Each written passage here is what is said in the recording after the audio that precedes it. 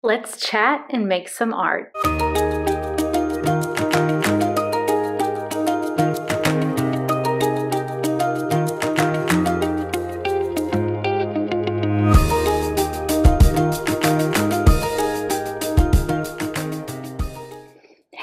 Everyone, welcome back to the studio. Today I'm going to take you along with me while I make some art. And the art that I'm making is art that I would generally make for myself. And I'm showing you that today so that I can explain to you and show you why it's so important. So much of art making today is external. We use social media to share our art, to get it out there so that it can be seen and shared with the world.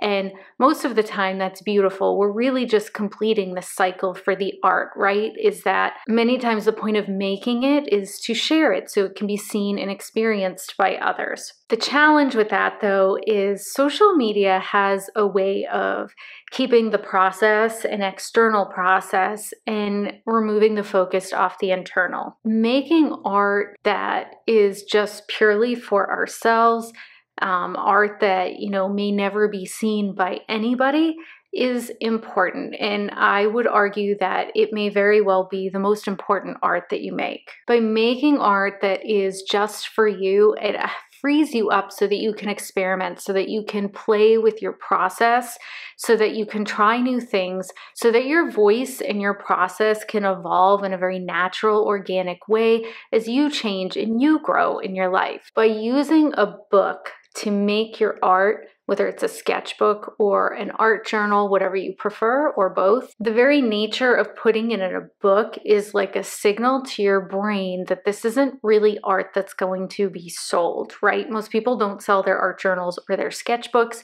It is art that is really purely for you. And with that said, let's go make some art.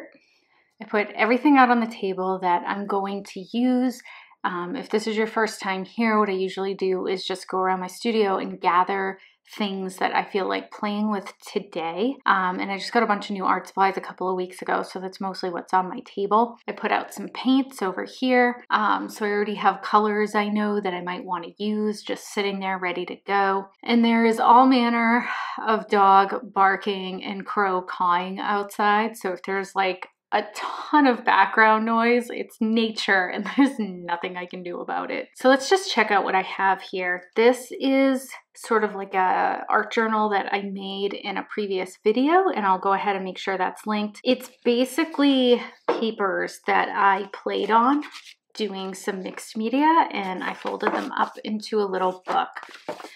The page in the middle is loose, so I'm just gonna go ahead and attach that with some tape.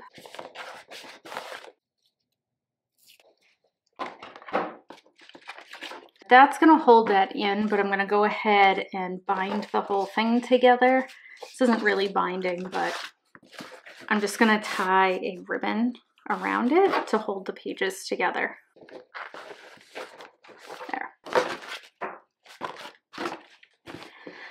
So this is just a journal for me to keep on my table. It's something that's just easy to grab. There's already something on the pages, so it's gonna make it easy to jump into. And I realize the irony a little bit right now that I'm showing you what it is that I'm doing, um, but this particular journal will be kept largely for me. I might share a page here or there on Instagram, but there won't be like a whole bunch of videos uploaded to YouTube um, about this journal or pictures on, you know, about every page of my Instagram. So now that this is put together, I'm just gonna go ahead and choose a page to start working. I'm gonna use this image, so I'm just seeing where this might go. I really like this on this page, but let's see if there's anything else that fits.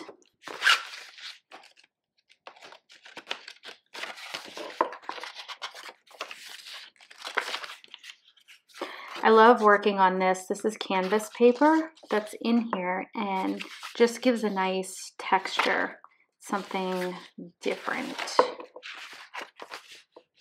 That could be a good page too.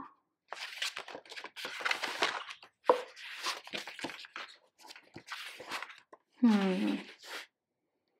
really like this. I like this pattern in the dark over here and then the light to make this dark pop out. And I think, I think I might use that one. Let me see. Yeah.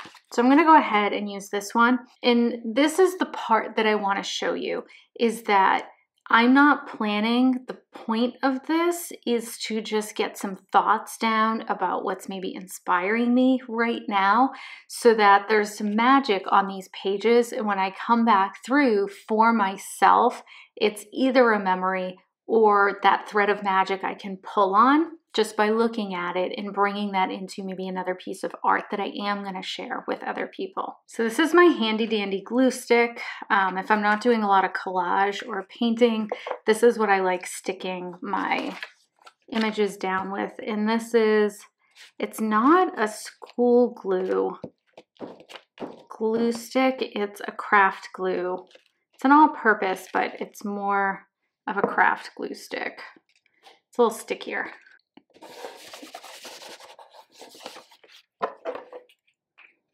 I'm to let this dry and come back and seal it with gel medium later, but I'm just to go ahead now and have a play with my other supplies while this image dries. We've had a really busy weekend and really what I want to use this for is just pulling some magic into my art practice and relaxing and letting go and having a play because it's just been so busy and go, go, go the past couple of days. These are my watercolor markers and I haven't used these in different ways yet. And I think I'm just gonna come in over here and throw some color in and bring some green onto these pages.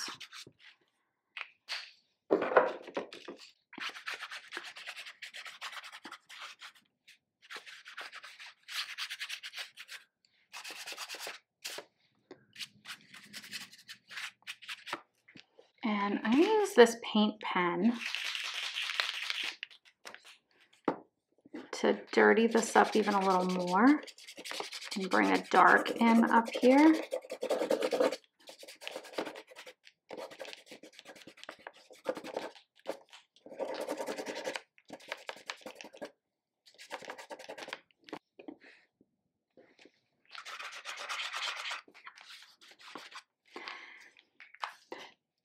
This is also a good time to just notice um, and be present while you're working and just notice what you're doing is working or not working.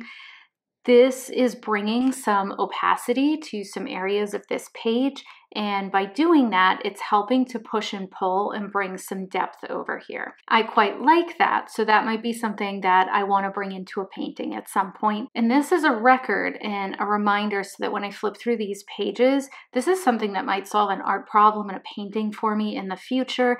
It might serve as a jumping off point for playing with something else or some new idea. And that's just what's so great about these.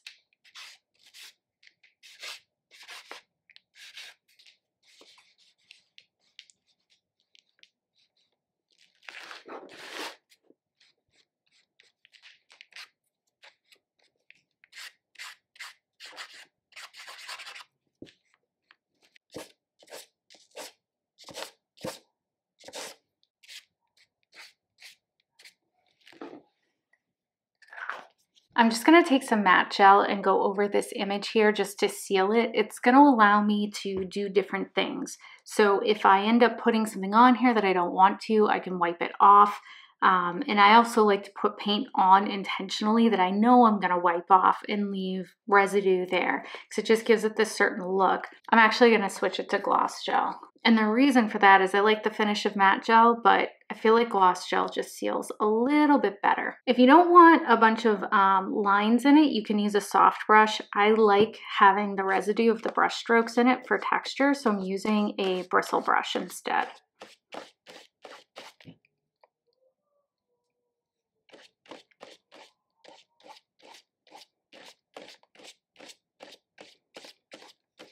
So now I'm just noticing and I know I want this photo to pop. So I need something dark at the bottom for that to happen. It's gonna vignette the image a little bit. And for this particular image, it's already vignetted with darks a bit around it. So it's just gonna be an extension of that. For me, that's really fun because this is going to let me almost create a little mini world that I can go into on these pages as I'm flipping through in the future. And this is just a mixture of some yellows and black. It creates a really nice dark green um, that has a nice mossy natural look to it.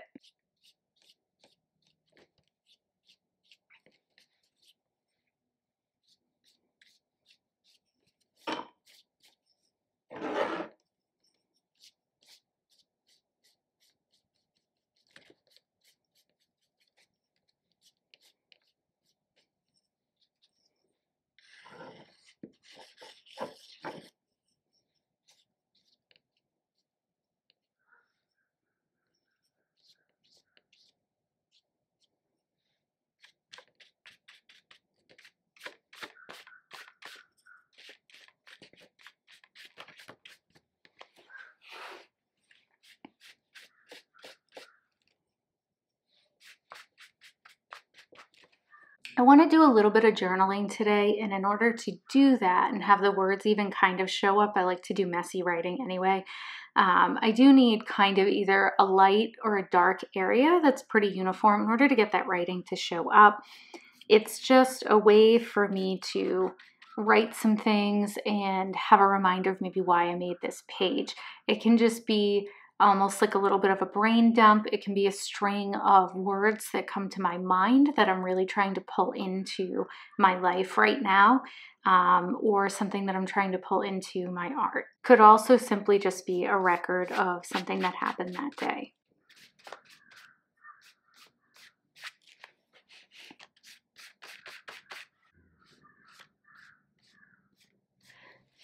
Having art journals and sketchbooks really create these artifacts of your art life. It is a stack of beautiful, crunchy pages.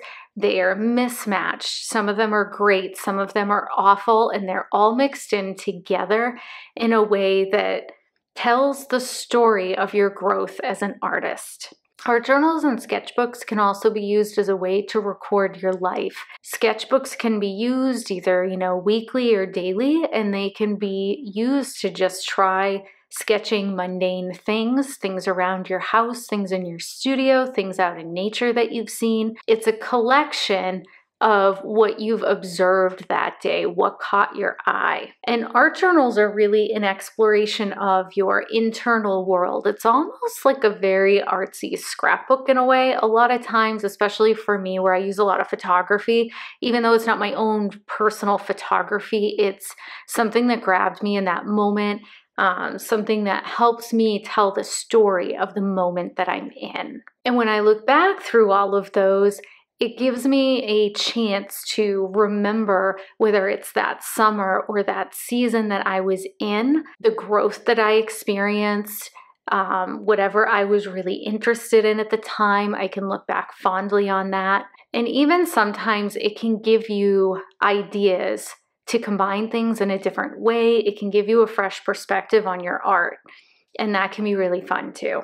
Having a stack of books that you can go back through is just, it's absolute magic for your art practice. It's an expression of your internal world on the pages that isn't necessarily looking for validation. And I share my art journal sometimes, I share my sketchbook sometimes, but I don't share everything. A lot of it is really just kept for me. It's a way for me to stay in touch with what's important to me in life. It's a way for me to process things in life. And it's a way for me to capture those threads of magic in the everyday and keep myself connected to them on the pages. And I absolutely love having the chance to go back through them.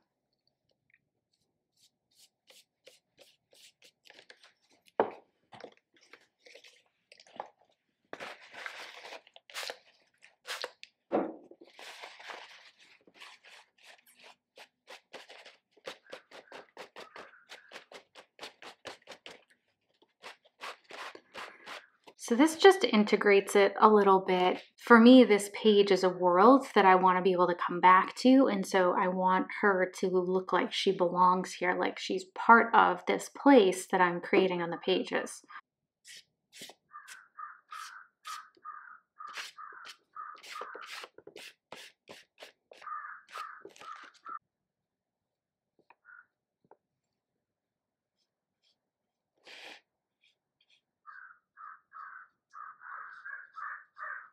Repetitive marks for me tend to be very meditative, so I like to bring those into my pages wherever possible. It gives me an opportunity to use art journaling to relax me and relax my mind.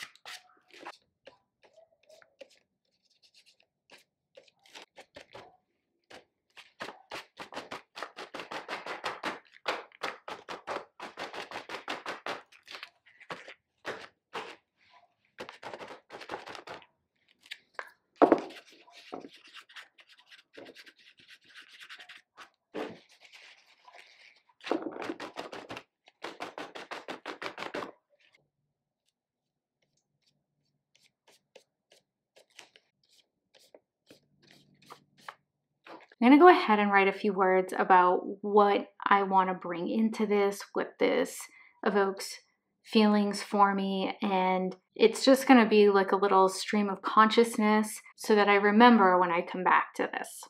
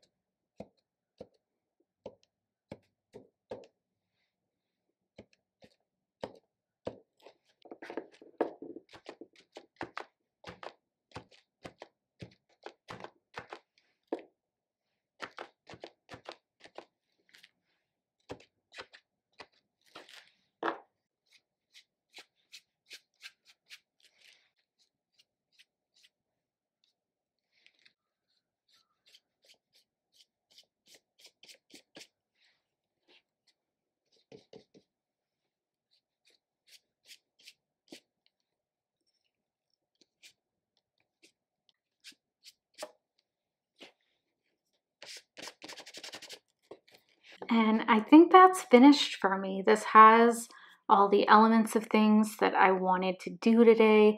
I got to make some repetitive marks to just quiet my mind. I got to play with color. I got to play with supplies. I added an element of writing to this so I remember, you know, things that really evoke that magic for me in artwork. I hope you can see how fast this was to do. This wasn't some big long art project. I sat down and just had an opportunity to play and bring some stuff out from inside onto the pages.